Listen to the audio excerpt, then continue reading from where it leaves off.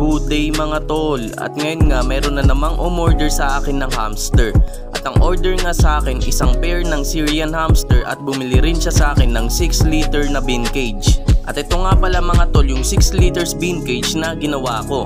At syempre dating gawin nilagyan ko pa rin siya ng basang tela para hindi sila ma-heat stroke sa biyahe. Dahil nga dinedeliver ko tong mga hamster pagkagising ko galing trabaho. At ayun, ito na nga pala yung napili sa akin ni sir at syempre ide-deliver ko na to napaka-good cheat niyan mga tol. Whoop whoop!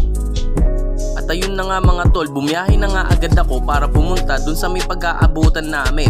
Tamang chill ride nga lang ako dito dahil hindi naman mainit yung panahon. Ayan no, tamang bike-bike lang tayo. At ayan na nga mga tol, pumasok na nga ako dito sa portal at ang labas ko na neto dito sa may loob ng Vista Verde. Dahil nga ang deliver ko neto doon sa may lawang bato, Valenzuela.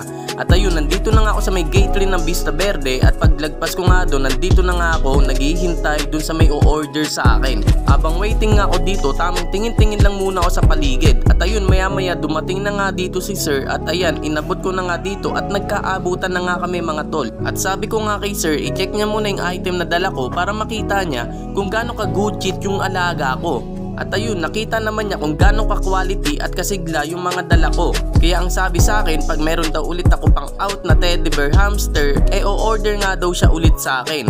Whoop whoop! At yun mga tol, pauwi na nga ako at napaka-good talaga ng aking trip. Nakapag-rides na ako, nagawa ko ng hilig ko, kumita pa ako sa alaga akong pag-hamster na hilig ko rin. Wala lang, basta lahat ng tong ginagawa ko, trip-trip ko lang to. Ako mahilig eh. Ride safe palagi sa atin. Whoop whoop!